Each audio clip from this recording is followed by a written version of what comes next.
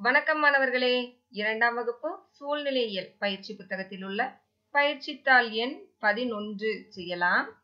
வாகனங்களின் பெயர்களை கண்டறிந்து கட்டங்களை நிரப்புகன்னு சொல்லியிருக்காங்க.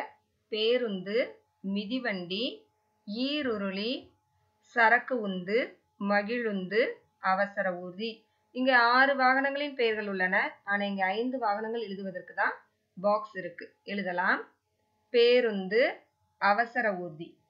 மகிழுந்து சரக்கு உந்து மிதிவண்டி எழுதிக்கோங்க.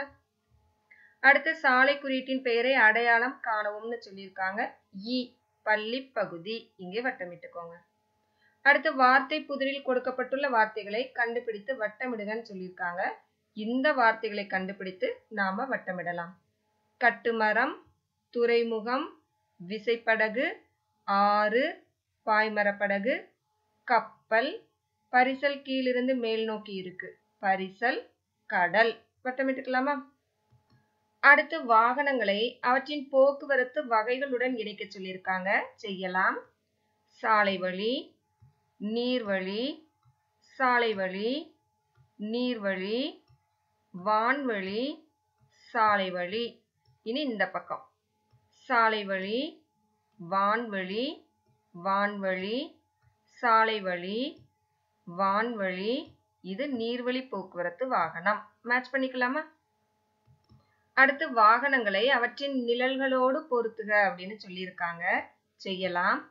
அவசர ஊர்தி ஈருருளி மிதிவண்டி உலங்கு ஊர்தி விமானம். நினைச்சுக்கோங்க அடுத்து பயிற்சித்தாள் எண் பன்னிரண்டு செய்யலாம். முதல் வினா செயல்பாடுகளுக்கு ஏற்றவாறு இரவு அல்லது பகல் என எழுதுகன்னு கொடுத்துருக்காங்க. நாம் காலை உணவு உண்பது பகல். நாம் நிலவை பார்ப்பது இரவு. நாம் பள்ளிக்கு செல்வது பகல். நாம் மதிய உணவு உண்பது பகல். நாம் தூங்கச் செல்வது இரவு. நாம் சூரியனை பார்ப்பது பகல்.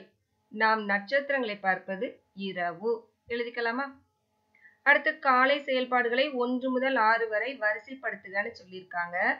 பாருங்க தூங்கி எழுந்திருக்கிறாங்க. இதுதான் முதல் செயல்பாடு. ஒன்று. அடுத்து பிரஷ் பண்ணுறது இரண்டாவது செயல்பாடு. அடுத்து குளித்தல் மூன்றாவது செயல்பாடு.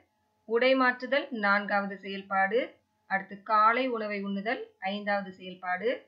பாருங்க ஸ்கூலுக்கு அழகாக கிளம்பி ரெடி ஆயிட்டாங்க. இதுதான் ஆறாவது செயல்பாடு. எண்களை எழுதிக்கோங்க.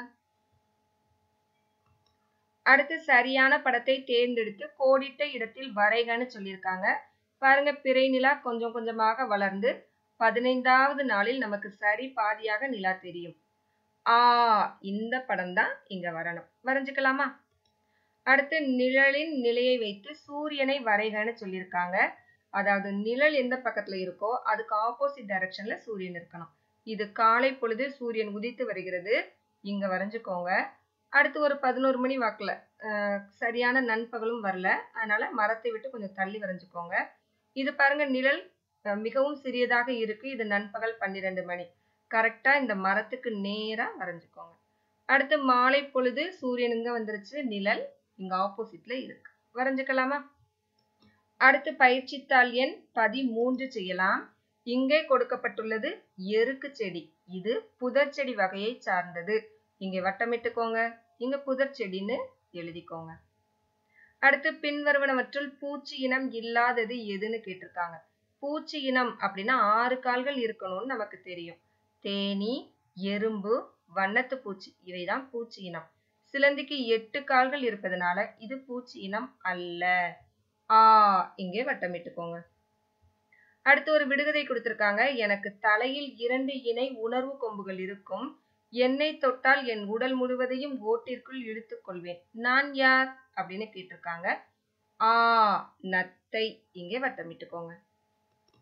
அடுத்து பெயர்களை சரியான படங்களுடன் பொருத்த போறோம். குறிஞ்சி மலர் இதோ இங்க இருக்கு. பகலில் மலரும் மலர்கள் கண்ணை கவரும் வண்ணத்தில் காணப்படும். தொட்டாச்சினிங்கி செடி இதோ இங்க இருக்கு பாருங்க. இரவில் மலரும் மலர்கள் வெண்மை நிறத்திலும் அதிக வாசனையுடனும் காணப்படும்னு படிச்சிருக்கோம் இல்லையா? இங்க மேட்ச் பண்ணிக்கோங்க. அடுத்து கடைசி பயிற்சி விடுபட்ட எழுத்தை நிரப்பி படத்திற்கான பெயரை கண்டுபிடிப்போமா? அப்படின்னு கொடுத்துருக்காங்க. தாமரை இலையின் வெட்டப்பட்ட பகுதி இது. எழுதிக்கலாமா? அடுத்து குறிஞ்சி. அந்த பூ குறிஞ்சி பூ. எழுதிக்கோங்க. இந்த படத்தில் இருப்பது பச்சோந்தி.